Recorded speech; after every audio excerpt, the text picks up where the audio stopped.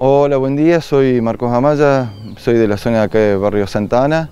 Eh, bueno, agradezco mucho a mis vecinos, al intendente por habernos puesto en contacto y haber concretado el hecho de, tener la alarma comunitaria.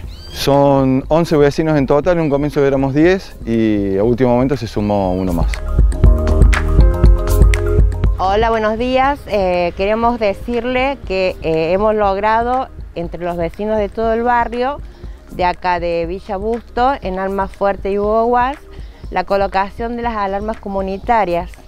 Eh, esto se logró eh, a través de todos los vecinos y con la colaboración de la Municipalidad de Santa María y el señor Carlos de Alarmas.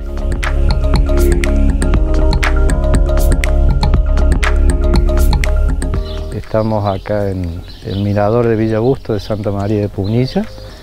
Nos acaban de instalar las alarmas comunitarias, un total de 26 familias que adhirieron. Queríamos agradecer al intendente, a Dardo Zanotti, al intendente de Santa María de Punilla, que colaboró con la mitad de la, instalación y el resto lo, lo abonamos los vecinos. Así que con esto nos dan seguridad, ya que hemos tenido en el último tiempo algunos hechos, algunas visitas inesperadas que entonces con esto nos van a ayudar a, que, bueno, tengamos un lugar más seguro para, para vivir, ¿no?